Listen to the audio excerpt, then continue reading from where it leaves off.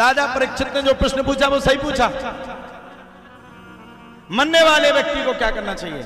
और सच्ची बात यह है, जिस व्यक्ति को यह पता चल जाए कि हमें मरना है, उसको सबसे पहले घर परिवार को छोड़ देना चाहिए।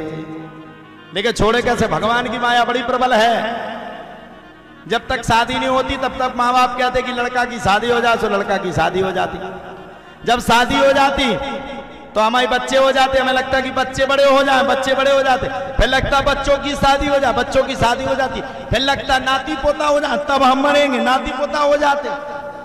नाती पोता के बाद हमें बुढ़ापा आ जाता है।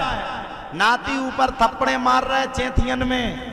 कुट रहे फिर भी हाँ हमारा नाती है, हमारा अपना नाती है, सबरे कुट रहे अब अब मन में विचार कर रहे कि जब नाती की शादी हो जाएगी, तब वन में जाएँगे।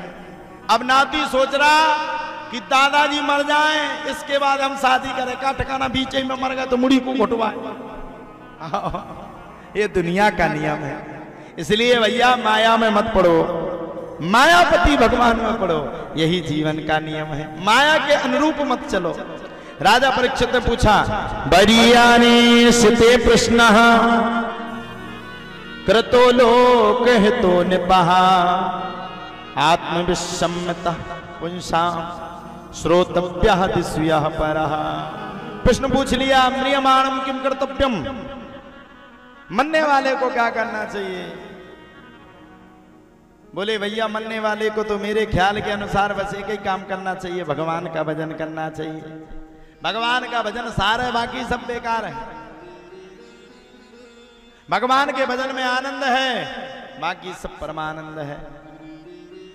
बोले मरने वाले व्यक्ति को तीन चीज़ें अपने दिलो दिमाग में रखना चाहिए, श्रोतव्य। कीर्ति तप्यश्चा। स्मरतव्यश्च एक किताब है। श्रोतव्य। पहले सबसे, अगर आपको वास्तव में भगवान को पाना तो श्रोतव्य, पहले सुनने वाले वाले। कीर्ति तप्यश्चा। भगवान की कीर्ति का गुणगान सुनो। किताब है हम स्मरण करो।